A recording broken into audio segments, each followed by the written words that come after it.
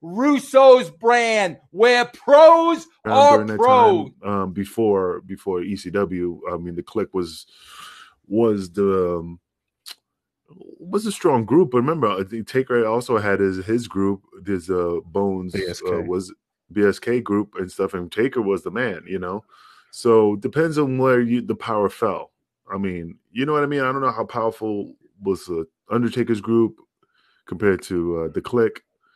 But again, in the mm-hmm. ECW, we had our clicks, you know, but there was no, you couldn't tell the difference. I know there was like Taz and the Shane Douglas click. Yeah, they had more power, they had more say, but but we never crossed paths and said, "Oh man, you know they squashed us." You know what I mean? Like they, Yeah, yeah, yeah, you- we didn't feel that type of presence in the locker room. We just hung out with people we drove with, cracked jokes with, and pull high spots on. So, do I think they were bossing Vince around? I don't know. I don't. I doubt it. or influence. I think it was more were influencing Vince in a way, but like I can't really see Vince McMahon being influenced to do something that he doesn't Well, want to fucking do.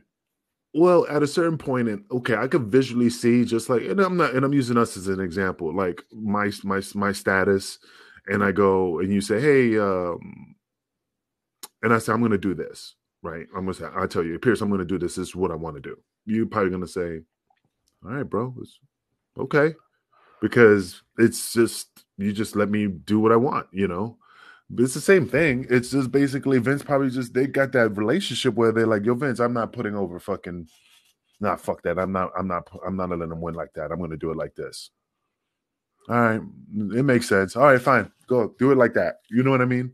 They had Yeah. that, that type of influence, I think. Russo's brand, where pros are pros.